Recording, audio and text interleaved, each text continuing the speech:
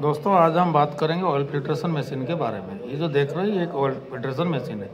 Oil filtration machine में transformer का oil filtration किया जाता है। उसमें ट्रांसफार्मर के टॉप पोजीशन से एक पाइप लेते हैं और बॉटम पोजीशन लाते हैं। ये देखो जो फिल्ट्रेशन मशीन है। फिल्ट्रेशन मशीन में मान लीजिए, इसमें जो डस्ट पार्टिकल रहता है बा आयनाइज पार्टिकल रहता है कॉपर का डिटे होने जो पार्टिकल रहता है, उसको हम सेग्रीगेट करते हैं। Filter variety filter micron level का जो फ़िल्टर है, उस लेवल से हम उसको रिमूव करते हैं ऑयल को आयनाइजेशन फ्री व मेटल फ्री व डस्ट फ्री करते हैं। उसके लिए ये फिल्ट्रेशन चैम्बर है। ये जो इंडिकेशन चैम्बर है, मान लीजिए अभी क्या क्या ऑन है हीटर ऑन है पंप ऑन है कंप्रेसर ऑन है, ये सारे का इंडिकेशन है। ये आप दो पाइप देख रहे हैं जो ट्रांसफार्मर के टॉप और बॉटम एंड में लगा है, उसी से तेल सर्कुलेट होता है।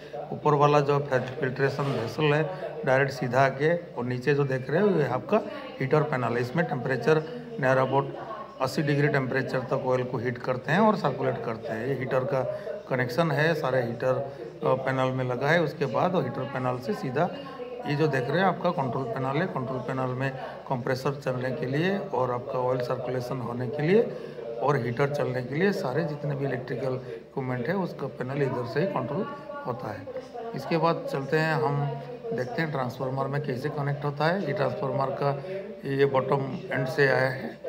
आप देखिए ट्रांसफार्मर का ट्रांसफार्मर आगे है, हम देखते हैं ये ट्रांसफार्मर है। सिक्स थर्टी के वी का एक छोटा ट्रांसफार्मर है डी वन इलेवन है, उसमें ऑयल क्वांटिटी आप देखिए एट फिफ्टी के जी है ऑयल है और टोटल मास आपका लगभग दिख रहा है उसमें। और इस ऑयल को हम फिल्ट्रेशन करते हैं ताकि उसका बी वैल्यू सही आ जाए। तो बी वैल्यू के बारे में आपको एक दूसरा वीडियो में आपने बताया था, ये देखिए, आप टॉप से एक इनकमिंग जो ऑयल सर्कुलेशन होता है, ये टॉप से लेते हैं और बॉटम से लेते हैं।